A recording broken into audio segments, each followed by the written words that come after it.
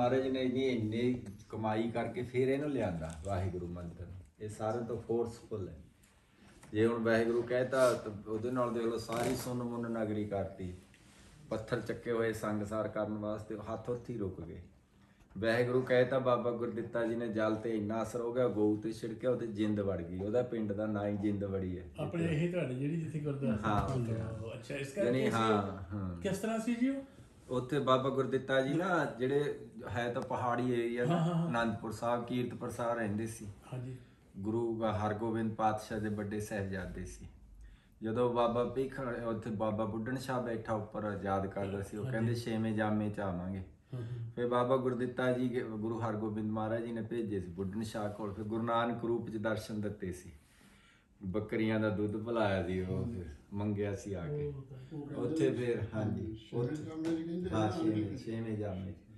ਫਿਰ ਉਹ ਤੋਂ ਬਾਅਦ ਉਹ ਜਿਹੜੇ ਉੱਥੇ ਸ਼ਿਕਾਰ ਖੇਡਣ ਜਾਂਦੇ ਸੀ ਜਿਹੜੇ ਆਹ ਸ਼ੇਰ ਸ਼ੂਰ ਬਹੁਤੇ ਹੁੰਦੇ ਸੀ। ਦੂਜਿਆਂ ਜਾਨਵਰਾਂ ਨੂੰ ਦੁਖਦਾਇਕ ਹੁੰਦੇ ਸੀ ਉਹਨਾਂ ਨੂੰ ਮਾਰਦੇ ਸੀ।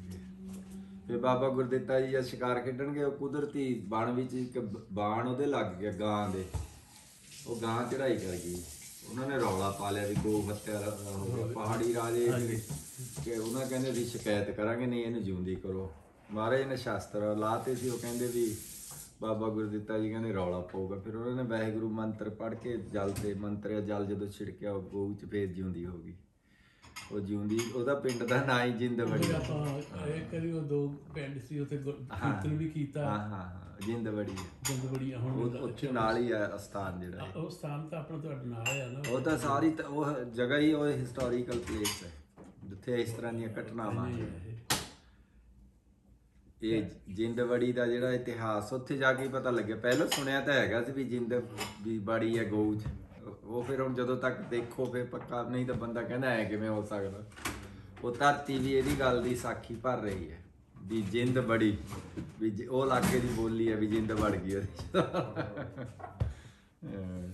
ਇੱਕ ਤੁਹਾਡੀ ਦੱਸਿਆ ਬਾਬਾ ਜੀ ਤੁਹਾਨੂੰ ਬਾਬਾ ਮਹਾਰਾਜ ਜੀ ਨੇ ਤੁਹਾਡੇ ਆਪਣੇ ਨਾ ਮੈਗਜ਼ੀਨ ਦੇ ਵਿੱਚ ਹੀ ਸੀਗਾ ਉਹ ਵਾਹਿਗੁਰੂ ਤੇ। ਆ ਚੰਗਾ ਹੋਇਆ ਤੂੰ ਇਹ ਪੁੱਛ ਰਿਹਾ, ਇਹਦਾ ਇੱਕ ਐਵੇਂ ਕਿ ਐਵੇਂ ਚੀਜ਼ ਨਹੀਂ ਤੇ ਨਾ ਇਹ ਮੈਂ ਪ੍ਰੋਫੈਸਰ ਇਹ ਗੱਲ ਕੀਤੀ, ਮੈਂ ਪੜ੍ਹ ਰਿਹਾ ਸੀ। ਨੇ ਵੀ ਸਤਿਗੁਰ ਆਪਣੇ ਨਾਮ ਧਰਿਏ ਗੁਰੂ ਸਾਹਿਬ ਕਹਿੰਦੇ ਆ ਨਾ ਉਹ ਉਹਦਾ ਸ਼ਬਦ ਆ ਨਾ ਆਪਣੀ ਹਾਂਜੀ। ਹਾਂਜੀ। ਬਾਬਾ ਰਾਮ ਸਿੰਘ ਜਿਹੜੇ ਹੋਏ ਆ ਉਹਨਾਂ ਨੂੰ ਰਾਮ ਸਿੰਘ ਸੀ ਫਿਰ ਹਾਂਜੀ। ਕੀਰਤਨ ਕਰ ਰਹੇ ਸੀਗੇ ਤੇ ਉਹਨਾਂ ਨੂੰ ਸ਼ੰਕਾਬਾਦ ਨੇ ਕਿਸੇ ਨੇ ਵੀ ਪੁੱਛਿਆ ਵੀ ਮੈਨੂੰ ਕਹਿੰਦੇ 22 24 25 30 ਸਾਲ ਹੋ ਗਏ ਤੁਹਾਡੀ ਸੰਗਤ ਕਰਦਿਆਂ ਨੂੰ ਇੰਨੇ ਚਿਰ ਦੇ ਵਿੱਚ ਆ ਵੀ ਤੁਸਲੀ ਜਿਹਲੇ ਉਹਨੂੰ ਆਪਾਂ ਸ਼ਾਨ ਕਹਿੰਦੇ ਆ ਤੇ ਉਹਦੇ ਵਿੱਚ ਤੁਸੀਂ ਵਾਹਿਗੁਰੂ ਨਹੀਂ ਕਹਿੰਦੇ। ਉਹ ਕਹਿੰਦੇ ਉਹ ਭਲਿਆ ਮਾਨਸਾ ਗੁਰੂ ਸਾਹਿਬਾਂ ਨੇ ਇੰਨੇ ਜੋਗੇ ਇੰਨੇ ਹਜ਼ਾਰਾਂ ਸਾਲ ਇਹਦੀ ਤਪੱਸਿਆ ਕੀਤੀ ਤੇ ਐਵੇਂ ਖਰਾਬ ਕਰ ਲਈ ਹੈ? ਹਾਂਜੀ ਉਹਨਾਂ ਦਾ ਕਮਾਇਆ ਹੀ ਜ਼ਿਆਦਾ ਸੀ। ਜੇ ਕਿਸੇ ਨੂੰ ਕਹਿ ਦਿੰਦੇ ਸੀ ਉਹ ਮਸਤਾਨਾ ਹੋ ਜਾਂਦਾ। ਮਸਤਾਨੇ ਹੋਏ ਹਾਂਜੀ। ਹੂੰ। ਇਹ ਤੁਹਾਡੀ ਲਿਖਤ ਮੈਂ ਪੜ੍ਹੀ ਸੀ ਪੜ੍ਹ ਰਿਹਾ ਸੀਗਾ। ਫਿਰ ਉਹ ਕਹਿੰਦੇ ਨਹੀਂ ਸੀ ਫਿਰ ਸਤਨਾਮ ਹੀ ਕਹਿੰਦੇ ਜਿਵੇਂ ਤੁਸੀਂ ਰਾਮ ਰਾਮ ਕਹਿੰਦੇ। ਨਾਮ ਰਾਜ ਸਤਨਾਮ ਹਾਂ, ਕਹਿੰਦੇ ਵਾਹਿਗੁਰੂ ਨਹੀਂ ਸੀ ਕਹਿੰਦੇ। ਵਾਹਿਗੁਰੂ ਦੇ ਵਿੱਚ ਇੰਨੀ ਕਮਾਈ ਜਿਹੜੀ ਆ ਇਹ ਉਦੇ ਵੰਡੀ ਜਾਂਦੀ ਹੈ ਇਹ ਜਦੋਂ ਫਿਰ ਇਹ ਉਦੋਂ ਬੈਨ ਕਰਤਾ ਅੰਗਰੇਜ਼ ਨੇ ਵੀ ਅੰਮ੍ਰਿਤ ਨਹੀਂ ਛਕਾ ਸਕਦੇ ਵੀ ਬਹੁਤ ਉਹ ਕਰਦੇ ਵੀ ਇਹ ਇਹਦੇ ਨਾਲ ਬੰਦੇ ਨੂੰ ਚੜ੍ਹਦੀ ਕਲਾ ਹੋ ਜਾਂਦੀ ਉਹ ਫਿਰ ਉਹਨਾਂ ਨੇ ਫਿਰ ਟੋਏ ਪੱਟ ਕੇ ਉਹਨਾਂ 'ਚ ਅੰਮ੍ਰਿਤ ਤਿਆਰ ਕਰਨਾ ਬਾਲਟੀਆਂ 'ਚ ਭਰ ਕੇ ਫਿਰ ਛਕਾਉਂਦੇ ਫਿਰੀ ਜਾਣਾ ਕੰਨ 'ਚ ਮੰਤਰ ਦੇਣਾ ਉਹ ਪ੍ਰਥਾ ਫਿਰ ਉੱਥੋਂ ਚੱਲੀ। ਉਹ ਹੁਣ ਉਹੀ ਚੱਲਦੀ ਹੈ। ਫਿਰ ਉਹ ਮਹਾਰਾਜ ਸੁਣਾਉਂਦੇ ਨੇ ਮਹਿੰਦਰ ਸਿੰਘ ਸੀ ਪਟਿਆਲੇ ਵਾਲਾ ਰਾਜਾ ਕਹਿੰਦਾ ਵੀ ਕਿਉਂਕਿ ਉਹ ਪਹਿਲੀ ਜਿਹੜੀ ਸਾਰਿਆਂ ਤੋਂ ਅ, ਪਾਈ ਹੂਤੀ ਬਾਬਾ ਰਾਮ ਸਤਗੁਰੂ ਰਾਮ ਸਿੰਘ ਜੀ ਨੇ ਸ਼ੁਰੂ ਕਰਿਆ ਨਾਮ ਮਿਲਵਰਤਨ ਲਹਿਰ। ਮਹਾਤਮਾ ਗਾਂਧੀ ਨੇ ਬਾਅਦ ਚ ਅਡਾਪਟ ਕਰ ਲਈ ਉਹ। ਉਹ ਸਤਗੁਰੂ ਨੇ ਹੀ ਸ਼ੁਰੂ ਕਰੀ ਸੀ। ਉਹ ਫਿਰ ਉਹਨੇ ਨੇ ਦੇਖਿਆ ਵੀ ਕਿਤੇ ਕੋਈ ਬਗਾਵਤ ਨਾ ਖੜੀ ਕਰ ਦੇਣ 1857 ਜਿਵੇਂ ਬਗਾਵਤ ਹੋਈ ਸੀ। ਵੀ ਇਹਦੀ ਤਰੀ- ਕੋਈ ਤਰੀਕ ਨਾ ਦੱਸ ਦਿਓ ਹੁਣ ਟਾਈਮ ਵੀ ਕੰਨ 'ਚ ਜਿਹੜਾ ਦੱਸ ਦੇ। ਮਹਿੰਦਰ ਸਿੰਘ ਸੀਆਈਡੀ ਦਾ ਭੇਜਿਆ ਉਹਨਾਂ ਨੇ ਵੀ ਲਿਆ ਪਤਾ ਕਰਕੇ। ਉਹ ਜਦੋਂ ਗਿਆ ਉਹਦੇ ਜਦ ਕੰਨ 'ਚ ਮੰਤਰ ਦਿੱਤਾ ਉਹਨੂੰ ਤਾਂ ਭੁੱਲ ਮਸਤਾਨਾ ਹੋ ਗਈ ਵਾਹਿਗੁਰੂ ਹੀ ਕਿਹਾ ਸੀ। ਹੁਣ ਵੀ ਨਾਮਧਾਰੀ ਹੈ ਵਾਹਿਗੁਰੂ ਹੀ ਕਹਿੰਦੇ। ਹੁਣ ਜਿਹੜੇ ਹੁਣ ਵੀ ਸਤਿਗੁਰੂ ਉਹਨਾਂ ਦੇ ਐਂ ਆ ਜਾਂਦੇ ਕੰਨ ਕੋਲ ਵਾਹਿਗੁਰੂ ਕਹਿੰਦੇ। ਉਹ ਫੇਰ ਕੀ ਹੋਇਆ? ਉਹ ਤੋਂ ਬਾਅਦ ਫਿਰ ਮਹਾਰਾਜਾ ਕਹਿੰਦੇ ਵੀ ਉਹ ਤਾਂ ਮੁੜਿਆ ਹੀ ਨਾ ਉਹਦੀ ਸੁਰਤ ਲੱਗ ਗਈ ਇੱਥੇ ਸਮਾਧੀ। ਉਹਨੂੰ ਕਹਿੰਦੇ ਤੈਨੂੰ ਮਹਾਰਾਜਾ ਬੁਲਾ ਰਿਹਾ ਵੀ ਤੂੰ ਆਇਆ ਨਹੀਂ ਮੁੜ ਕੇ ਉਹਦੇ ਜਿਹੜੇ ਅਹਿਲਕਾਰ ਆਏ। ਕਹਿੰਦਾ ਹੁਣ ਨਹੀਂ ਮੈਨੂੰ ਕੋਈ ਹੁਣ ਤਾਂ ਮੈਂ ਹੁਣ ਨਹੀਂ ਕਹਿੰਦਾ ਮੈਨੂੰ ਹੁਣ ਮੈਨੂੰ ਮਹਾਰਾਜ ਨਾਲ ਕੋਈ ਨਹੀਂ ਕਹਿੰਦੇ ਹੋਏ ਹੁਣ ਤਾਂ ਮੈਂ ਅਸਲੀ ਨਾਲ ਜੁੜ ਗਿਆ। ਜਾਨੀ ਐ ਜੋੜ ਦਿੰਦੇ ਸੀ ਸੁਰਤ ਨੂੰ ਨਾ ਸ਼ਬਦ ਨਾਲ। ਮੇਰੇ ਦਿਮਾਗ 'ਚ ਦੋ ਉਲਝਣਾ ਸੀ ਇੱਕ ਤਾਂ ਇਹ ਕਿ ਹੁਣ ਮੇਰੀ ਕਲੀਅਰ ਹੋ ਗਈ। ਇਹ ਨਹੀਂ ਵੀ ਉਲਝਣ ਨਹੀਂ ਸੀ ਮਤਲਬ ਹੈ। ਹਰ ਇੱਕ ਇਹਦਾ ਵੱਖੋ ਵੱਖ ਅਰਥ ਦੱਸਦੇ ਸੀ। ਦੂਜੀ ਇਹ ਸੀ ਕਿ ਥੋੜਾ ਜਿਹਾ ਵੀ ਕਰਨ ਤੇ ਲੋਕੀ ਸਵਾਰਥੀ ਹੋ ਜਾਂਦੇ ਆ। ਜਿੱਦਾਂ ਨਾ ਮੈਂ ਦੇਖਦੀ ਆ ਬਹੁਤ ਜ਼ਿਆਦਾ ਫਨੈਟਿਸਿਜ਼ਮ ਆ ਗਿਆ ਜਾਂ ਉਹ ਕਹਿੰਦਾ ਵੀ I am the one nobody else is that ਇਹਨੂੰ ਕਿੱਦਾਂ ਹਟਾਇਆ ਜਾਵੇ ਬਾਬਾ ਜੀ? ਇਹਦੇ ਬਾਰੇ ਇੱਥੇ ਜਦੋਂ ਆਏ ਬਾਬਾ ਜੀ ਆਹੀ ਲਿਖਿਆ ਹੋਇਆ ਸੀ ਐਲੇ ਗੁਰਦੁਆਰੇ ਤੇ. ਗੋਡ ਇਜ਼ ਵਨ ਮਾਰੇ ਕਹਿੰਦੇ ਪੂਰਾ ਸੈਂਟੈਂਸ ਨਹੀਂ ਬਣਦਾ ਵੀ ਨਥਿੰਗ ਐਲਸ ਵੀ ਉਹ ਤੋਂ ਬਿਨਾ ਤਾਂ ਕੋਈ ਦੂਜਾ ਹੈ ਹੀ ਨਹੀਂ ਇੱਥੇ। ਫਿਰ ਕਹਿੰਦੇ ਉਹਨਾਂ ਨੇ ਇਸੇ ਦੀ ਵਿਆਖਿਆ ਕਰੀ ਉਹ ਸਾਰੇ satsang ਚ। ਆਏ ਤਾਂ ਸਬਜੈਕਟ ਕਹਿੰਦੇ ਮੈਂ ਹੋਰ ਬੋਲਣਾ ਸੀ ਅੱਜ। ਕਹਿੰਦੇ ਪਰ ਹੁਣ ਮੈਂ ਐਸੇ ਤੇ ਹੀ ਦੱਸਦਾ ਵੀ ਤੁਸੀਂ ਆਹ ਦੱਸੋ ਵੀ ਕਿੱਥੇ ਨਹੀਂ ਰੱਬ। ਆਮ ਪੁੱਛ ਦਿੰਦਾ ਵੀ ਰੱਬ ਕਿੱਥੇ ਹੈ? ਵੀ ਮੈਨੂੰ ਰੱਬ ਦਿਖਾ। ਕਿ ਇੱਕ ਦਿਨ ਅਸੀਂ ਇੱਕ ਡੇਰੇ ਤੋਂ ਚੱਲੇ ਸਾਡੇ ਨਾਲ ਗੁਰਦੀਪ ਸਿੰਘ ਰਸਤੇ 'ਚ ਗੱਲਾਂ ਕਰੀ ਜਾਵੇ। ਕਹਿੰਦਾ ਅਸੀਂ ਜਵਾਨੀਆਂ ਵੀ ਲਾਤੀਆਂ ਮਹਾਰਾਜ ਨੂੰ ਸੈਕਰੀਫਾਈਸ ਕਰਿਆ ਸਮਰਪਿਤ ਵੀ ਕਰਿਆ ਰੱਬ ਤਾਂ ਦਿਖਾਇਆ ਨਹੀਂ ਆਪਣੇ ਆ ਗੁਰਦੀਪ ਸਿੰਘ। ਉਹਦੀ ਆਦਤ ਹੈ ਜਿਵੇਂ ਬੋਲਣ ਮੈਨੂੰ ਪਤਾ ਹਾਂਜੀ। ਅਸੀਂ ਐ ਬੈਠ ਕੇ ਬਾਬਾ ਜੀ ਕੁਰਸੀ ਤੇ ਬੈਠੇ ਆਏ ਇੱਥੇ ਬੈਠੇ। ਮੈਨੂੰ ਬੈਠਦੇ ਹੀ ਕਹਿੰਦੇ ਕਹਿੰਦੇ ਅੱਜ ਕੱਲ ਕਹਿੰਦੇ ਦੇਖੋ ਸ਼ਾਂਕੇ ਕਿੱਡੇ ਖੜੇ ਕਰਦੇ ਕਹਿੰਦੇ ਐ ਕਹਿੰਦੇ ਵੀ ਸਾਨੂੰ ਰੱਬ ਨਹੀਂ ਦਿਸਿਆ। ਕਹਿੰਦੇ ਮੈਂ ਪੁੱਛਦਾ ਵੀ ਦੇਖਣਾ ਕਿਹਾ ਜਾ ਚਾਹੁੰਦੇ? ਸਵਾਲ ਤਾਂ ਕਰਦੇ ਕਹਿੰਦੇ ਉਹਨਾਂ ਨੂੰ ਇਹ ਵੀ ਨਹੀਂ ਪਤਾ ਵੀ ਅਸੀਂ ਦੇਖਣਾ ਕਿਹਾ ਜਾ ਚਾਹੁੰਦੇ। ਅੱਛਾ, ਫਿਰ ਇਹ ਐ ਨੀਵੀਂ ਪਾਈ ਜਾਵੇ। ਮਹਾਰਾਜ ਕਹਿੰਦੇ ਸਵਾਲ ਹੀ ਨਹੀਂ ਜਦੋਂ ਆਪਣੇ ਸਵਾਲ ਦਾ ਪਤਾ ਵੀ ਉਹਦਾ ਜਵਾਬ ਮੰਗਦੇ ਆ। ਕਹਿੰਦੇ ਅਸੀਂ ਕੀ ਕਰੀਏ? ਕਹਿੰਦੇ ਹੁਣ ਕਹਿੰਦੇ ਜਾਂ ਤਾਂ ਚਤਰਭੁਜ ਹੋਵੇ। ਉਹ ਇੱਕ ਇਮੇਜਿਨ ਕਰ ਲਿਆ। ਵੀ ਇਹ ਚਤਰ ਉਹਦੀਆਂ ਚਾਰ ਬਾਹਾਂ ਐ ਜਾਂ ਹੋਰ ਐ ਬੰਦਾ ਬਣਾ ਲੈਂਦਾ ਜਿਹਾ ਜਾ ਪਰ ਉਹਦਾ ਤਾਂ ਮਹਾਰਾਜ ਕਹਿੰਦੇ ਉਹਦਾ ਤਾਂ ਕੋਈ ਰੂਪ ਨਹੀਂ ਹੈ ਰੂਪ ਨਾ ਰੇਖ ਨਾ ਰੰਗ ਕਿਸ ਤਰ੍ਹਾਂ ਗੁਣ ਤੇ ਪ੍ਰਭ ਭਿੰਨ। ਤਿੰਨ ਗੁਣ ਹੈ ਨਾ ਰਜ ਗੁਣ ਸਤ ਗੁਣ ਤਮ ਗੁਣ। ਇਹ ਇਹਨਾਂ ਤੋਂ ਉੱਪਰ ਹੈ ਉਹ। ਕਹਿੰਦੇ ਹੁਣ ਉਹਦਾ ਰੂਪ ਨਹੀਂ ਰੇਖ ਨਹੀਂ ਰੰਗ ਨਹੀਂ ਭੇਖ ਨਹੀਂ ਚੱਕਰ ਚਿਹਨ ਹਰ ਵਰਨ ਜਾ ਧਰ ਪਾਤ ਨੇ ਜੇ ਰੂਪ ਰੰਗਾ ਰੇਖ ਭੇਖ ਕੋ ਕਹਿ ਨਾ ਸਕਤ ਕੇ। ਕਹਿੰਦੇ ਨੂੰ ਕਿਵੇਂ ਕਹੇ? ਫਿਰ ਕਹਿੰਦੇ ਹੁਣ ਜਦੋਂ ਆਪਣਾ ਪਤਾ ਹੀ ਨਹੀਂ ਕਹਿੰਦੇ ਹੁਣ ਰੱਬ ਦੱਸੋ ਕਿ ਦਿਖਾਈਏ ਫਿਰ। ਉਹ ਜਿਹੜੀ ਗੱਲ ਤਾਂ ਅਸੀਂ ਡੇਰੇ ਤੋਂ ਕਰੀ ਉਹਨੇ ਜਵਾਬ ਜਦੋਂ ਮਿਲਿਆ ਸਵਾਲ ਦਾ ਪੂਰਾ ਕਰਨਾ ਵੀ ਨਹੀਂ ਆਉਂਦਾ ਆਇਆ ਹੀ ਨਹੀਂ ਹਰ ਇੱਕ ਨੂੰ ਹੀ ਹੁੰਦਾ। ਵੀ ਜਿਹੜੇ ਵੀ ਮੈਂ ਵੀ ਇੱਥੇ ਹੈ ਤਾਂ ਉਹੀ ਹੈ ਪਰ ਜੇ ਹੁਣ ਸਵਾਲ ਤੇ ਉੱਤੇ ਸਵਾਲ ਕਰੋ ਵੀ ਐਂ ਦੱਸ ਵੀ ਰੱਬ ਹੈ ਕਿੱਥੇ ਨੇ। ਕਿੱਥੇ ਪੁੱਛਦੇ ਨਾ ਵੀ ਕਿੱਥੇ ਹੈ? ਸਾਰੇ ਹੀ ਰਮਿਆ ਹੋਇਆ ਸਰਗੁਣ ਆਪ ਨਿਰਗੁਣ ਪਈ ਉਹੀ ਕਲਾ ਧਾਰ ਜਿਨ ਸਗਲੀ ਮੋਹੀ। ਸਰਗੁਣ ਨਿਰਗੁਣ ਨਿਰੰਕਾਰ ਸੁਨ ਸਮਾਧੀ ਆਪ। ਆਪਨ ਕੀਆ ਨਾਨਕ ਆਪੇ ਹੀ ਫਿਰ ਜਾਪ। ਇਹ ਤਿੰਨ ਤਰ੍ਹਾਂ ਦੀ ਅਵਸਥਾ ਚ ਨੂੰ ਲੰਘਣਾ ਪੈਂਦਾ। ਇਹ ਪਹਿਲਾ ਤਾਂ ਧਿਆਨ ਹੈ ਸਾਕਾਰ ਦਾ। ਉਹਨੂੰ ਪ੍ਰਤੀਕ ਕਹਿੰਦੇ ਆ। ਉਹਦੇ ਵਿੱਚ ਹੁੰਦਾ ਵੀ ਜਿਹੜਾ ਉਹਦਾ ਸਰਗੁਣ ਸਰੂਪ ਦਾ ਨਿਰੰਕਾਰ ਨੇ ਧਾਰਨ ਕਰਿਆ ਜਿਹੜੇ ਉਹਦੇ ਵਿੱਚ ਜੁੜ ਗਏ। ਉਹਦਾ ਰੂਪ ਬਣ ਗਏ, ਹਰ ਹਰ ਜਨ ਦੋਈ ਏਕ ਵੀ ਵਿਚਾਰ ਕਿਸ਼ਨਾਏ ਜਿਹੜਾ ਖਾਲਸਾ ਬਣ ਗਿਆ, ਖਾਲਸੇ ਦੀ ਡੈਫੀਨੇਸ਼ਨ ਇਹੀ ਹੈ ਵੀ ਆਤਮ ਰਸ ਜੇ ਜਾਣੀ, ਸੋ ਹੈ ਖਾਲਸ ਦੇ। ਬ੍ਰਹਮ ਮੋਹ ਮੈਂ, ਤਾਸ ਮੈਂ ਰੰਚਕ ਨਹੀਂ ਭੇਦ। ਜਿਹੜੇ ਦੇ ਭੇਦ ਤੇ ਨਹੀਂ ਰਹਿ ਗਿਆ ਥੋੜਾ ਜਿਹਾ ਵੀ। ਖਾਲਸਾ ਮੇਰਾ ਰੂਪ ਹੈ ਖਾਸ। ਉੱਥੇ ਤੱਕ ਪਹੁੰਚਣ ਵਾਸਤੇ ਫਿਰ ਤੁਸੀਂ ਸਰਗੁਣ ਦਾ ਧਿਆਨ ਧਰਦੇ ਹੋ। ਸਰਗੁਣ ਤਾਂ ਧਰਨਾ ਪੈਂਦਾ, ਹੁਣ ਸਾਡਾ ਇੱਥੇ ਧਿਆਨ ਬਣਿਆ ਹੋਇਆ। ਸਾਡਾ ਹੁਣ ਪੁੱਤਰ ਬਾਹਰੋਂ ਆਵਾਜ਼ ਮਾਰਦਾ, ਸਾਨੂੰ ਜਦੋਂ ਪਤਾ ਲੱਗ ਜਾਂਦਾ ਵੀ ਉਹਦੇ ਸਰੀਰ ਸਾਹਮਣੇ ਆ ਜਾਂਦਾ ਵੀ ਉਹ ਹੈ। ਉਹ ਕਿਉਂਕਿ ਆਪਾਂ ਉਹਦੇ ਵਿੱਚ ਫਸ ਗਏ ਸਰਗੁਣ ਚ, ਇਹਦੇ ਚੋਂ ਨਿਕਲਣ ਵਾਸਤੇ ਵੀ ਸਰਗੁਣ ਸਰੂਪ ਮਹਾਤਮਾ ਦਾ ਹੁੰਦਾ ਸਫਲਿਓ ਮੂਰਤ ਪਰਸਿਓ ਸੰਤਨ ਕੀ, ਇਹ ਧਿਆਨ ਨਾ ਧਰਨਾ। ਅਕਾਲ ਮੂਰਤ ਹੈ ਸਾਧ ਸੰਤਨ ਕੀ, ਠਾਹਰ ਨਿੱਕੀ ਧਿਆਨ ਕੋ, ਵੀ ਧਿਆਨ ਠਹਿਰਾਉਣ ਦਾ ਇੱਕ ਸਾਧਨ ਹੈ, ਇਹਨੂੰ ਪ੍ਰਤੀਕ ਕਹਿ ਦਿੰਦੇ। ਹੁਣ ਇਹਦੇ ਤੋਂ ਜਦੋਂ ਅੱਗੇ ਲੰਘ ਗਏ, ਉਹਦੇ ਵਿੱਚ ਆ ਫਿਰ ਅੱਗੇ ਉਹਨੂੰ ਸੰਪਤ ਧਿਆਨ ਕਹਿੰਦੇ ਦੂਸਰਾ ਧਿਆਨ। ਉਹਦੇ ਵਿੱਚ ਜਿਹਦਾ ਤੁਹਾਡੇ ਧਿਆਨ ਆਊਗਾ, ਉਹਦੇ ਗੁਣ ਜ਼ਰੂਰ ਆਉਣਗੇ। ਅੱਛਾ, ਜੇ ਹੁਣ ਧਿਆਨ ਹੀ ਹੈ, ਫੋਟੋ ਹੈ, ਇਹਨੂੰ ਕਹਿੰਦੇ ਵੀ ਗੁਰ ਕੀ ਮੂਰਤ ਮਨ ਮੈਂ ਧਿਆਨ। ਹੁਣ ਆਪਾਂ ਦੂਸਰੀ ਫੋਟੋ ਦਾ ਧਿਆਨ ਧਰ ਲਓ, ਕਿਸੇ ਦਾ, ਕਿਸੇ ਰੂਪ ਦਾ ਦੇਖ ਲਓ, ਰੂਪੇ ਕਾਮੇ ਦੋਸਤੀ, ਭੁੱਖੇ ਸਾਦੇ ਗੰਢ ਤੁਹਾਡੀਆਂ ਵਾਸ਼ਨਾਵਾਂ ਜਾਗਦੀਆਂ। ਸਾਧੂ ਦਾ ਸਰੂਪ ਹੈ, ਉਹਦੇ ਉਹਦੇ ਦਰਸ਼ਨਾਂ ਦੇ ਨਾਲ ਤੁਹਾਡੀਆਂ ਵਾਸ਼ਨਾਵਾਂ ਸਾਰੀਆਂ ਸ਼ਾਂਤ ਹੋ ਜਾਂਦੀਆਂ। ਸ਼ਾਂਤੀ ਮਿਲਦੀ ਹੈ, ਆਵੇ ਸਹਿਬ ਚਿਤ ਤੇਰੇ ਭਗਤਾਂ ਡਿਠਿਆ ਉਹਨੂੰ ਪ੍ਰਤੀਕ ਧਿਆਨ ਕਹਿੰਦੇ ਵੀ ਉਹਦੇ ਗੁਣ ਆ ਜਾਂਦੇ ਆ। ਫਿਰ ਉਹ ਉਹ ਧਿਆਨ ਵੀ ਇਹ ਰੁਕਦਾ ਨਹੀਂ ਹੈਗਾ। ਉਹ ਅੱਗੇ ਜਿਹੜਾ ਹੈ ਗੁਰਮੂਰਤ, ਗੁਰ ਸ਼ਬਦ ਹੈ। ਉਹ ਸ਼ਬਦ ਹੈ, ਇੱਕ ਧੁਨ, ਉਹ ਆਵਾਜ਼ ਆਉਂਦੀ। ਆਪਾਂ ਇੱਕ ਬਾਬਾ ਜੀ ਨੇ ਜਿਵੇਂ ਪ੍ਰਤੀਕ ਬਣਾ ਕੇ ਦਿਖਾਇਆ, ਵਾਹੇ ਗੁਰੂ। ਆ ਜਿਹੜੇ ਗੁੰਬਦ ਵੀ ਬਣਦੇ ਮੰਦਰਾਂ ਦੇ ਉੱਚੇ ਇਹਨਾਂ 'ਚੋਂ ਆਵਾਜ਼ ਘੁੰਮਦੀ ਹੈ, ਘੰਟੇ ਵਾਂਗੂ ਆਵਾਜ਼ ਆਉਂਦੀ ਹੈ। ਇਹ ਪ੍ਰਤੀਕ ਹੈ ਇੱਕ ਤਰ੍ਹਾਂ ਦੀਆਂ। ਉਹ ਜਿਹੜਾ ਘੰਟਾ ਖੜਕਾਉਂਦੇ ਆ ਨਾ ਵੀ ਅੰਦਰ ਵੀ ਗਗਨ ਦਮਾਮਾ ਬਾਜਿਓ, ਪਰਿਓ ਨਿਸ਼ਾਨੇ ਕੋ ਦਸਮ ਦਵਾਰ ਆਗਮ ਪਾਰਾ, ਅੰਦਰ ਵੀ ਉਹ ਆਵਾਜ਼ ਘੁੰਮਦੀ ਹੈ ਫਿਰ ਇਹ ਧੁਨ ਵੱਲ ਨੂੰ ਧਿਆਨ ਚਲਾ ਜਾਂਦਾ, ਜਦੋਂ ਸ਼ਬਦ ਧੁਨ ਵੀ ਗੁਰਮੂਰਤ ਗੁਰ ਸ਼ਬਦ ਹੈ, ਇੱਥੇ ਫਿਰ ਉਹਨੂੰ ਕਹਿੰਦੇ ਅਹੰਗ੍ਰਹਿ ਧਿਆਨ ਹੈ। ਅਹੰਗ੍ਰਹਿ ਹੁੰਦਾ ਵੀ ਉਹਦੇ ਵਿੱਚ ਮਨ ਸਾਚਾ, ਮੁਖ ਸਾਚਾ, ਸੋਏ ਅਵਰ ਨ ਪੇਖੈ ਏਕ ਬਿਨ ਕੋਏ ਨਾਨਕੇ ਲੱਛਣ ਬ੍ਰਹਮ ਗਿਆਨੀ ਹੋਏ ਉਹਨੂੰ ਸਾਰੇ ਬ੍ਰਹਮੰਡ ਦਾ ਗਿਆਨ ਹੋ ਜਾਂਦਾ ਵੀ ਜੋ ਬ੍ਰਹਮੰਡੇ ਸੋਈ ਪਿੰਡੇ, ਜੋ ਖੋਜੇ ਸੋ ਪਾਵੇ। ਇਸ ਤਰ੍ਹਾਂ ਇਹ ਜਿਹੜੀ ਗੁਰਮੂਰਤ ਗੁਰ ਸ਼ਬਦ ਹੈ, ਉਹਦਾ ਧਿਆਨ ਹੁੰਦਾ ਧੁਨ ਦਾ। ਇਹ ਤਿੰਨ ਧਿਆਨ ਹੈ। ਇਹ ਬ- ਬਹੁਤ ਇਹਦੇ ਤੇ ਖੋਲ ਖੋਲ ਕੇ ਦੱਸੇ। ਹੁਣ ਜੇ ਭਾ- ਭਾਈ ਗਾਉਂਦੇ ਨੇ, ਧਿਆਨ ਧਰ ਲਿਆ। ਤੇ ਦੇਖ ਲਓ, ਉਹ ਮਹਾਰਾਜ ਕਿੰਨੇ ਪੈਰ ਉੱਠੇ ਹੀ ਨਹੀਂ ਚਰਨਾਂ ਦਾ ਧਿਆਨ ਧਰਿਆ। ਜੇ ਹੁਣ ਉਧਰੋਂ ਆਇਆ ਵਜ਼ੀਰ ਉਹਨੇ ਦੇਖ ਲਓ, ਇੰਨਾ ਕੀ ਰੱਖਿਆ ਪਰਮਾਨੰਦ ਨੇ ਧਿਆਨ ਵੀ ਉਹ ਗੁਰੂ ਮਹਾਰਾਜ ਅੱਖ- ਅੱਖਾਂ 'ਚ ਫਿਰਨ ਲੱਗਿਆ, ਉਹਦਾ ਧਿਆਨ ਧਰ ਲਿਆ ਚਰਨਾਂ ਦਾ। ਉਹ ਉਹਦੇ ਉਹਨੂੰ ਪਤਾ ਹੀ ਨਹੀਂ ਲੱਗਿਆ ਵੀ ਅੱਖਾਂ 'ਚ ਫੇਰ ਵੀ ਰਤੀ ਗਰਮ ਸੜਾ ਗਿਆ ਇਹ ਐ ਧਿਆਨ ਦੀ ਸ਼ਕਤੀ ਹੈ, ਧਿਆਨ ਹੁੰਦਾ ਕੂੰਜਵਤ ਹੁਣ ਉਡੇ ਉਡੇ ਆਵੇ, ਸਹਿ ਕੋਸਾਂ, ਉਧਰ ਪੰਜਾਬ ਵੱਲ ਸਹਿਵੇਰੀਆ ਤੋਂ ਆ ਜਾਂਦੀਆਂ ਕੂੰਜਾਂ।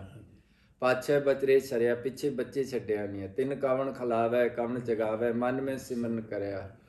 ਹੁਣ ਉਹ ਸਿਮਰਨ ਦੀ ਯਾਦ ਸ਼ਕਤੀ ਦੇ ਨਾਲ ਉਹਨਾਂ ਨੂੰ ਪਾਲਦੀਆਂ ਜਦ ਨੂੰ ਉੱਥੇ ਜਗੇ ਉਹਨੇ ਆਂਡਿਆਂ ਚੋਂ ਬੱਚੇ ਵੀ ਬਾਹਰ ਆਏ ਨੇ, ਤੇ ਇਹਨੇ ਉਹਨਾਂ ਨੂੰ ਤਿੰਨ ਕਵਣ ਖਲਾਵੇ।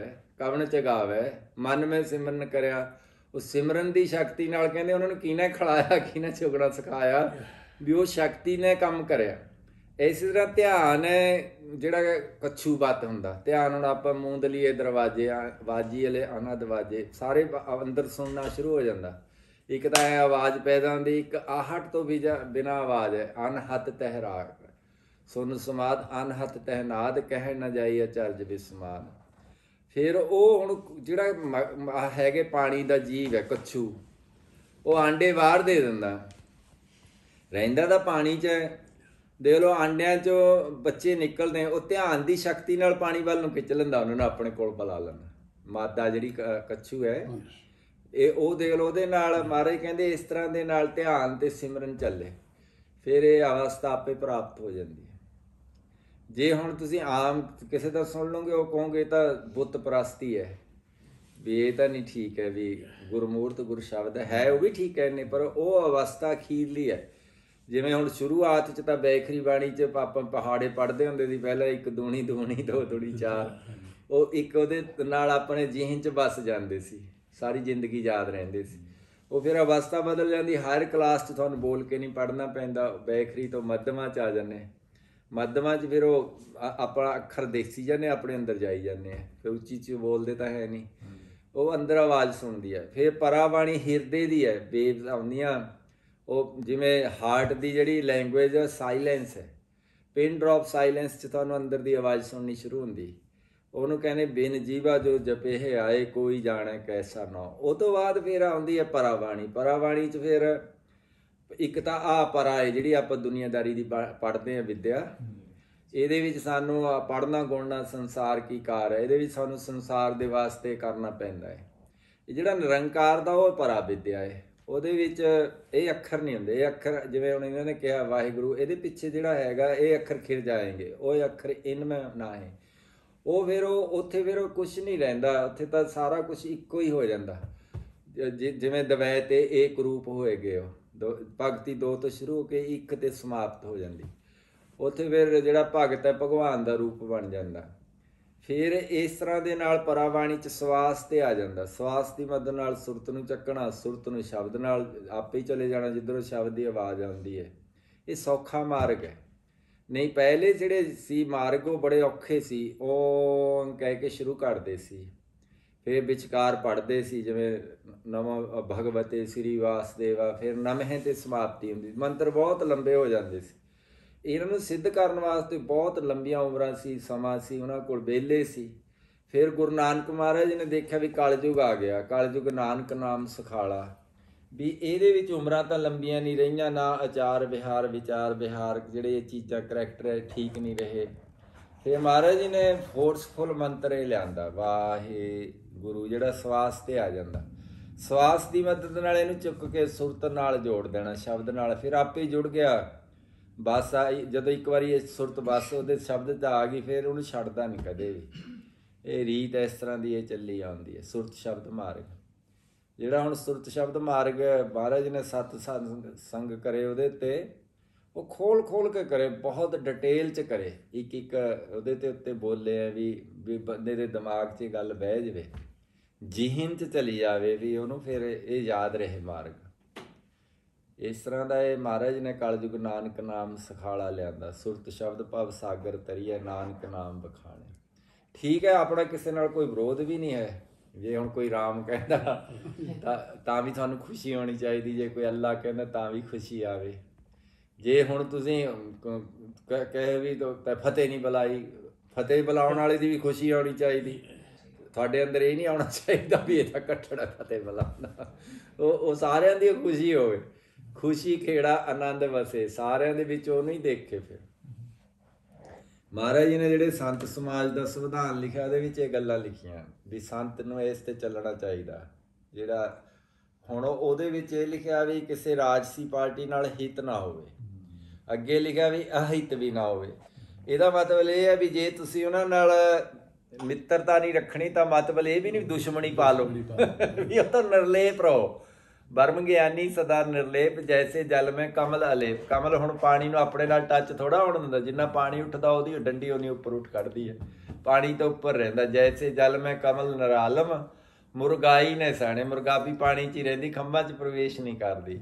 ਵੀ ਇਸੇ ਤਰ੍ਹਾਂ ਤੁਸੀਂ ਸਾਰਾ ਕੁਝ ਕਰਦੇ ਹੋਏ, ਇਹ ਨਹੀਂ ਵੀ ਸਭ ਕੁਝ ਛੱਡ ਕੇ ਆਪਾਂ ਵੀ ਇੱਕ ਤਰ੍ਹਾਂ ਦੇ ਕਿਨਾਰਾ ਕਰ ਜਾਣਾ ਜਬ ਲਗ ਦੁਨੀਆ ਰਹੀ ਹੈ, ਨਾਨਕ ਦੁਨੀਆ 'ਚ ਰਹਿੰਦੇ ਆ ਤੁਸੀਂ, ਤੁਹਾਨੂੰ ਕੁਝ ਨਾ ਕੁਝ ਕਰਨਾ ਪੈਣਾ ਕੁਝ ਸੁਣਿਆ ਕਿਸ ਕਹੀ ਹੈ। ਅਸਲ 'ਚ ਗੱਲ ਕਿਹੜੀ ਪਛਾਣਣੀ ਹੈ? ਪਰਣਵਤ ਨਾਨਕ ਹੁਕਮ ਪਛਾਣੈ, ਜੀਵ ਤੇ ਅਮਰ ਰਹੀ ਹੈ। ਫਿਰ ਵੀ ਇਹ ਜਿਹੜੇ ਸਾਨੂੰ ਕਹਿੰਦੇ ਬੋਲ ਕਬੋਲ, ਸਾਧੂ ਸਹਿ ਔਰ ਸੇ ਸਿਹਾ ਨਾ ਜਾਏ, ਖਾਦ ਖੂਦ ਧਰਤੀ ਸਹਿ, ਕਾਟ ਕੂਟ ਬਨ ਰਾਏ।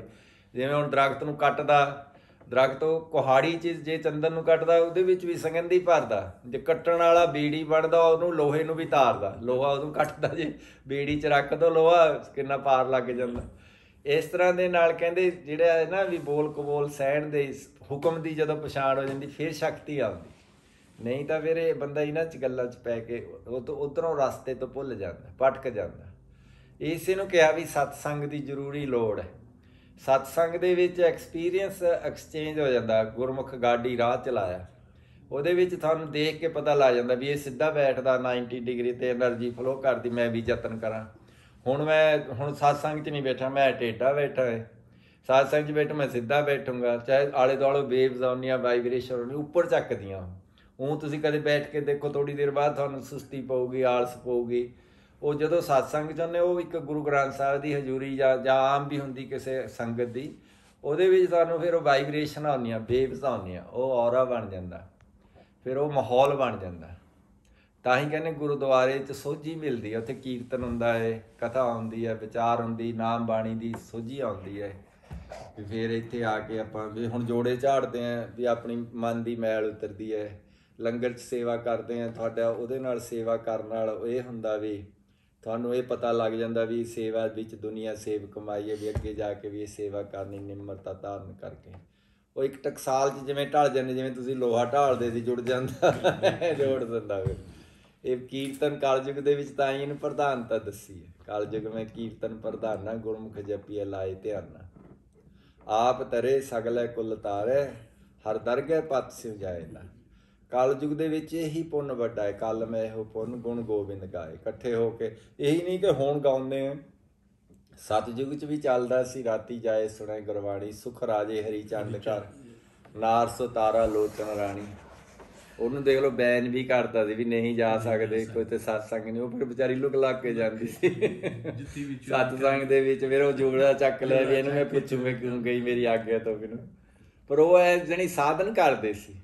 ਸਾਧਨਾ ਦੇ ਨਾਲ ਫਿਰ ਸਾਧਨ ਕਰਨ ਦੇ ਨਾਲ ਫਿਰ ਇਹ ਹੋ ਜਾਂਦਾ ਸੀ ਵੀ ਸਤਸੰਗ ਵੀ ਐਸੀ ਹੁੰਦੀ ਸੀ ਨਾ ਉੱਥੇ ਰਾਗਤ ਵੇਸ਼ ਮੁੱਕ ਜਾਂਦਾ ਸੀ।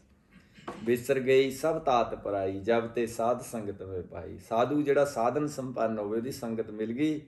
ਕਹਿੰਦੇ ਫਿਰ ਮੈਨੂੰ ਆ ਸਾਰਾ ਕੁਝ ਭੁੱਲ ਗਿਆ ਤਾਤ ਪਰਾਈ ਜਿਹੜੀ ਈਰਖਾ ਚੱਲਦੀ ਸੀ ਹੋਰ ਗੱਲਾਂ ਚੱਲਦੀਆਂ ਸੀ।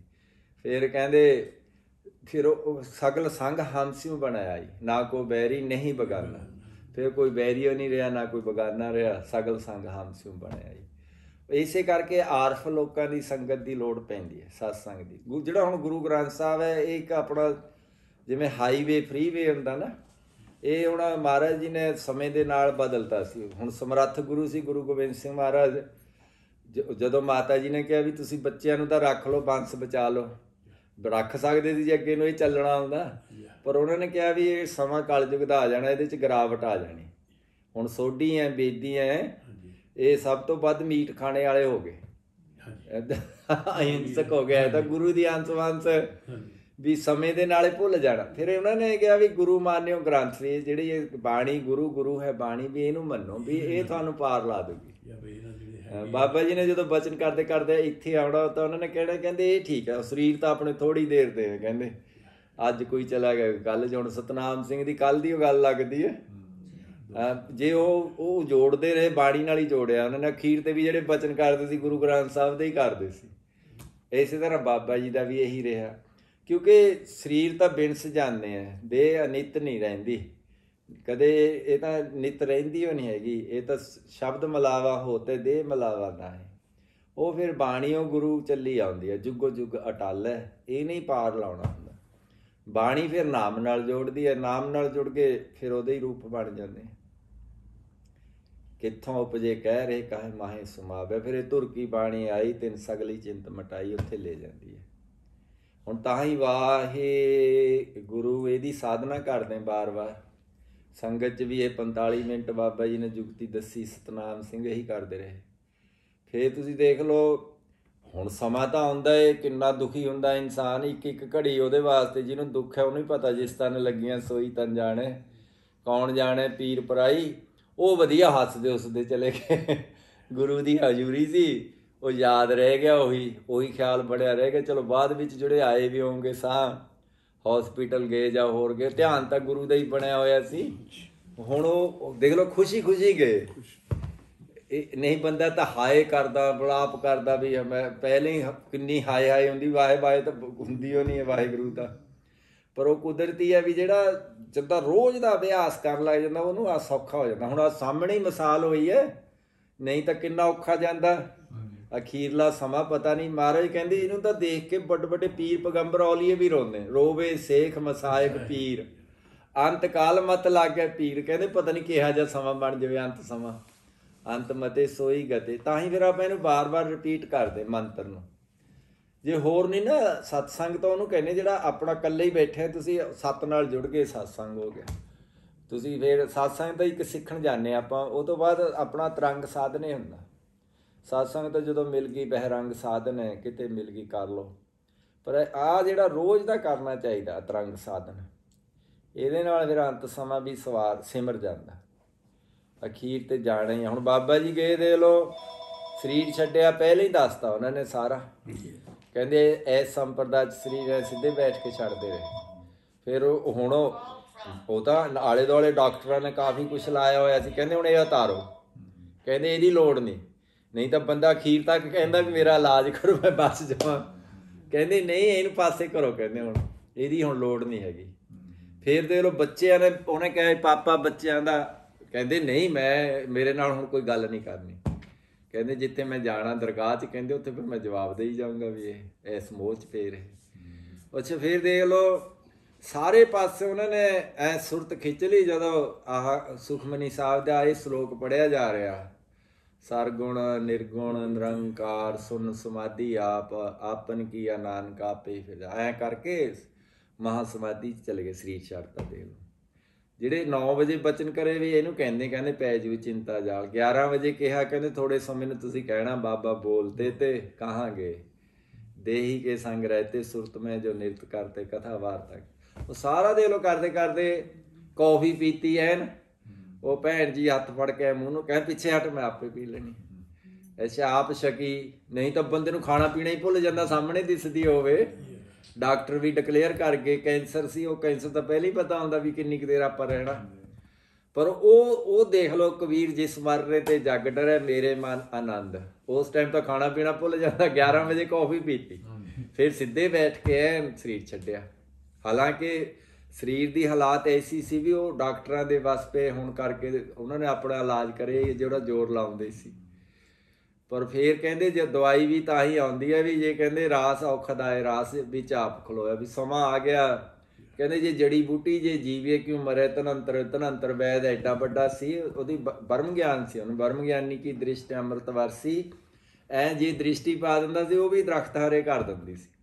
ਉਹ ਕਹਿੰਦਾ ਤਸ਼ਕ ਨਾਗ ਹੁਣ ਜਦੋਂ ਉਹਨੇ ਸੱਪ ਪਾਤਾ ਸਰਿੰਗੀ ਰਿਖੀ ਦੇ ਉਹਦੇ ਗਲ 'ਚ, ਉਹਨੇ ਸਰਾਫ ਦੇਤਾ ਵੀ ਸੱਤ ਮੈਨੂੰ ਮਰੇ ਜਿਹੜੇ ਨੇ ਮੇਰੇ ਗੁਰੂ ਦੇ ਪਾਇਆ ਗਲ 'ਚ ਇਹ ਹਾਰ। ਉਹ ਹੋਇਆ ਕਿ? ਹੁਣ ਉਹਨੂੰ ਜਦ ਪਤਾ ਲੱਗਿਆ ਵੀ ਕਹਿੰਦੇ ਉਹ ਤਾਂ ਰਾਜਾ ਬੜਾ ਧਰਮਾਤਮਾ ਵੀ ਜਾ ਕੇ ਕਹੇ ਇਹਨੂੰ। ਹੁਣ ਉੱਥੇ ਗਿਆ ਦੇ ਲੋ ਜਦੋਂ ਜਾ ਕੇ ਦੱਸਿਆ ਵੀ ਤੇ ਮਰ ਜਾਣਾ ਸੱਪ ਨਾਲ। ਉਹ ਫਿਰ ਉਹ ਉਹ ਇਹ ਧਨੰਤਰ ਵੈਦ ਨੇ ਕਿਹਾ ਵੀ ਉਹ ਧਰਮਾਤਮਾ ਰਾਜਾ ਇਹ ਵੀ ਮੈਂ ਜਾਣਦਾ, ਉਹਨੂੰ ਬਚਾ ਲੂੰਗਾ ਦੇਖ ਲਓ, ਤੁਰਿਆ ਜਾ ਰਿਹਾ। ਰਾਜ 'ਚ ਤਸ਼ਕ ਨਾਗ ਵੀ ਲੜਨ ਜਾ ਰਿਹਾ ਉਹਦੇ। ਕਹਿੰਦਾ ਤੂੰ ਫਿਰ ਕੀ ਕਰੂੰਗਾ? ਕਹਿੰਦਾ ਮੈਂ ਨਾ ਵੀ ਜਨਮੇਜੇ ਨੇ ਮਰਨਾ ਹੈ ਵੀ ਮੈਂ ਫਿਰ ਉੱਥੇ ਉਹਨੇ ਸੱਪ ਲੜਨਾ, ਮੈਂ ਉਹਦੇ ਜ਼ਹਿਰ ਉਤਾਰਨਾ, ਮੈਂ ਮਰਨ ਨਹੀਂ ਦੇਣਾ। ਹੁਣ ਜਾਂ ਉਹ ਜਿਹੜਾ ਦੂਜੇ ਹੋਰ ਰਾਜੇ ਸੀ, ਕਈਆਂ ਨਾਲ ਹੋਇਆ ਇਸ ਤਰ੍ਹਾਂ, ਰਾਜਾ ਜਨਮੇਜਾ ਤਾਂ ਕੋੜ ਨਾਲ ਮਰਿਆ, ਉਹਨੇ ਨੱਕ ਚੜਾ ਲਿਆ ਸੀ। ਜਿਹੜੀ ਭਾਵੀ ਟਲਦੀ ਨਹੀਂ ਹੈ, ਰਾਜਾ ਜਨਮੇਜਾ ਦੇਮਤੀ ਬਰਜ ਵਿਆਸ ਪੜਾਇਆ ਤਿੰਨ ਕਰ ਜਗ 18 ਕਾ ਕੀਰਤ ਨ ਸਕੇ ਚਲਾਇਆ ਉਹ ਬ- ਟਲਦਾ ਨਹੀਂ ਸਮਾਂ। ਉਹ ਤਸ਼ਕ ਨਾਗ ਕਹਿੰਦਾ, ਮੈਂ ਬਚਾਉਣਾ ਉਹਨੂੰ, ਧਰਮਾਤਮਾ ਹੈ ਰਾਜਾ। ਕਹਿੰਦਾ, ਤੂੰ ਫਿਰ ਜੇ ਬਚਾਉਣਾ ਤਾਂ ਵੀ ਵੀ ਮੈਂ ਮੈਂ ਤਾਂ ਉਹਨੂੰ ਮਾਰਨਾ ਹੈ। ਕਹਿੰਦਾ, ਆਪਾਂ ਸ਼ਕਤੀ ਪਰਖ ਲੈਣੇ ਕਿਹਦੇ 'ਚ ਜ਼ਿਆਦਾ ਹੈ? ਤਛਕ ਨਾਗ ਨੇ ਡੰਗ ਮਾਰਿਆ, ਦਰਖਤ ਸਕਾਤਾ। ਤਨੰਤਰ ਵੈਦ ਨੇ ਦ੍ਰਿਸ਼ਟੀ ਪਾਈ, ਉਹ ਦਰਖਤ ਆਰਾ ਕਰਤਾ। ਉਹਨੇ ਕਿਹਾ ਵੀ ਇਹ ਵਿਗਨਕਾਰੀ ਬਣੂਗਾ ਮੇਰੇ ਰਾਹ 'ਚ। ਭਾਵੀ ਤਾਂ ਹੈਗੀ ਵੀ ਇਹਦਾ ਇਲਾਜ ਪਹਿਲਾਂ ਕਰਾਂ। ਉਹ ਫਿਰ ਰਸਤੇ 'ਚ ਅੱਗੇ ਨਾ, ਠੰਡ ਦੇ ਦਿਨ ਸੀ, ਜਿਹੜਾ ਨਾਗ ਸੀ ਉਹ ਐ ਆਕੜ ਕੇ ਪੈ ਗਿਆ। ਉਹਨੇ ਸਮਝਿਆ ਵੀ ਖੁੰਡੀ ਪਈ ਹੈ ਬੜੀ ਸੋਹਣੀ ਹੈ ਕਾਲੀ। ਉਹਨੇ ਚੱਕੀ ਸਿਰੀ ਤੋਂ ਫੜ ਕੇ ਚੱਕ ਕੇ ਤੁਰ ਪਿਆ। ਠੰਡ ਚੱਕੜੇ ਹੀ ਸੀ ਉਹ। ਉਹ ਹੁਣ ਇੱਥੇ ਖੁਰਕ ਹੋਈ ਉਹਦੇ। ਉਹਨੇ ਕੁੰਡੀ ਨਾਲ ਐ ਖੁਰਕ ਕਰਨ ਲੱਗਿਆ ਤੇ ਲੜ ਗਿਆ। ਹੁਣ ਇਹਦੇ ਦ੍ਰਿਸ਼ਟੀ ਨਹੀਂ ਦੀ ਜਾਂਦੀ, ਧਨੰਤਰ ਵੈਦ ਮਰ ਗਿਆ। ਭਾਈ ਗੁਰਦਾਸ ਜੀ ਕਹਿੰਦੇ, ਦੇਖੋ, ਕਹਿੰਦੇ ਜਿਹੜੀ ਇਲਾਜ ਕਰਨ ਗਿਆ ਸੀ ਆ ਪਹਿਲਾਂ ਮਰ ਗਿਆ।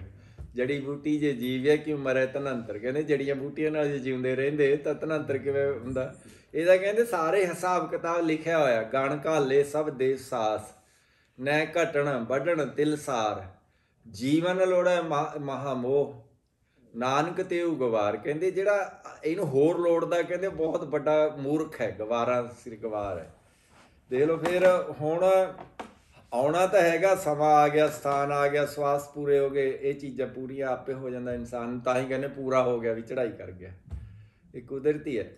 ਇਹ ਫਿਰ ਕਹਿੰਦੇ ਇਹਦੇ ਬਾਰੇ ਕੁਝ ਕਹਿ ਵੀ ਨਹੀਂ ਸਕਦੇ ਵੀ ਕਿੱਥੋਂ ਉਪਜੇ, ਕਹਿ ਰਹੇ, ਕਾਹੇ ਮਾਹੇ ਸਮਾਵੇ। ਹੁਣ ਇੱਕ ਪਤਾ ਨਹੀਂ ਵੀ ਕਿੱਥੋਂ ਆਇਆ ਜੀ ਜੰਤ ਸਭ ਖਸਮ ਕੇ ਕੌਣ ਕੀਮਤ ਪਾਵੇ ਇਹ ਇਸ ਕਰਕੇ ਇਹਦੇ ਬਾਰੇ ਜਿਹੜਾ ਹੁਣ ਅਗਾਮਤ ਦੀ ਬਾਤ ਹੈ, ਬਾਬਾ ਜੀ ਨੇ ਸੱਤ ਭਾਗਾਂ 'ਚ ਲਿਖੀ ਉਹ ਪੁਸਤਕ, ਉਹਦੇ ਵਿੱਚ ਇਹ ਸਾਰਾ ਦੱਸਿਆ ਵੀ ਉਹਦੀ ਅਗੰਮਤਾ ਦਾ ਜਿਵੇਂ ਕੋਈ ਇਨਫਿਨਿਟੀ ਲਿਖ ਦਿੰਦੇ ਮੈਥਮੈਟਿਕਸ ਜਦ ਕੈਲਕੂਲੇਸ਼ਨਾਂ ਖਤਮ ਹੀ ਨਹੀਂ ਹੁੰਦੀਆਂ, ਉਹ ਫਿਰ ਉੱਤੇ ਕਹਿੰਦੇ ਉਹਦਾ ਬੇਅੰਤ ਹੈ, ਉਹਦਾ ਅੰਤ ਕੋਈ ਹੈ ਹੀ ਨਹੀਂ। ਅੰਤ ਨਾ ਪਾਰਾਵਾਰ, ਅੰਤ ਨਾ ਸਿਫਤੀ ਕਹਿਣ ਨਾ ਅੰਤ ਅੰਤ ਦੇ ਆ ਜਿਹੜੀ ਪੌੜੀ ਹੈ, ਜਪਜੀ ਸਾਹਿਬ ਦੀ ਸਾਰਾ ਦੱਸਿਆ ਉਹਦੇ ਵਿੱਚ, ਅੰਤ ਨਾ ਪਾਰਾਵਾਰ। ਪਾਰ ਬ੍ਰਹਮ ਕਹਿੰਦੇ, ਪਰੇ ਅੰਪਰ ਪਰਪਾਰ ਬ੍ਰਹਮ ਪਰਮੇਸ਼ਰ ਵੀ ਪਰੇ ਹੈ ਤਾਂ।